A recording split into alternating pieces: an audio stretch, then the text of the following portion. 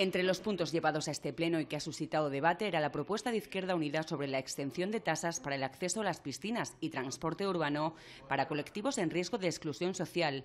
Ha sido rechazada ya que según el equipo de gobierno sería necesaria una modificación de la ordenanza vigente.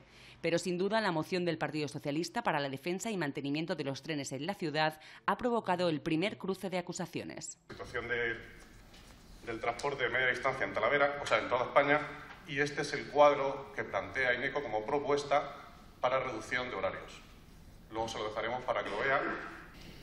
Nosotros hemos preguntado en la consejería, oye, ¿vosotros tenéis alguna información de que se vaya a suprimir algún tren?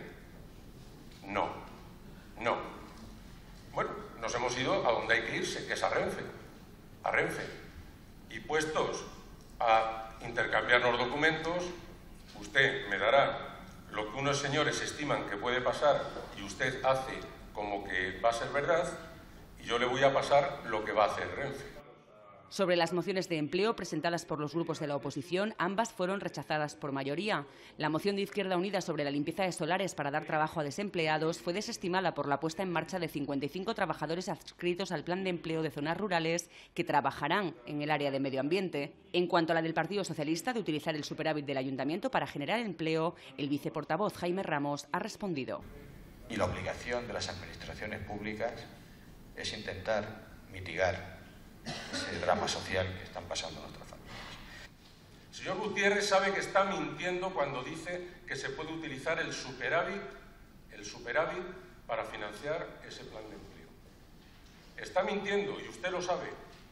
Y usted ha tenido la responsabilidad de ser diputado de Economía y Hacienda.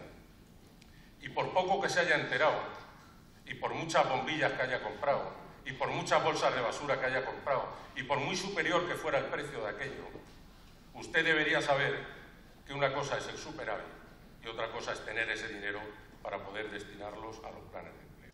En esta sesión de pleno, además, y a petición del concejal de Economía, Arturo Castillo, se ha explicado el documento de liquidación del presupuesto. La aprobación del mismo está prevista para el próximo mes de julio.